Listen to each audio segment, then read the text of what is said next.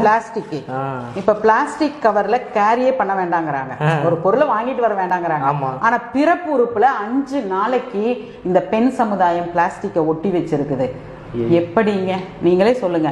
பிறப்புறுப்புல ஒரு அஞ்சு நாளைக்கு இருபத்தி நாலு மணி நேரம் இந்த பிளாஸ்டிக்கை ஒட்டி வச்சா எப்படி கருத்தரிப்பு நடக்கும்? எப்படி சினை மூட்டை உருவாகும் பயிர் விளையுமா? இப்ப இதை கொண்டு நான் பூமியில போடுறேன். பயிர் விளையுமா? அது ஆகாதே பயிர் விளையாது. அதே மாதிரி தாங்க கருத்தரிக்க முடியாது நமக்கு இருபத்தெட்டு நாளைக்கு ஒரு குறை பீரியட்ஸ் நடந்துடணும். நாலு நாளைக்கு தான் இருக்கணும். இது இதை மாறுச்சுனாவே நம்மளோட உடம்பு வந்து கரெக்டான பாதையில போகலைன்னு அர்த்தம்.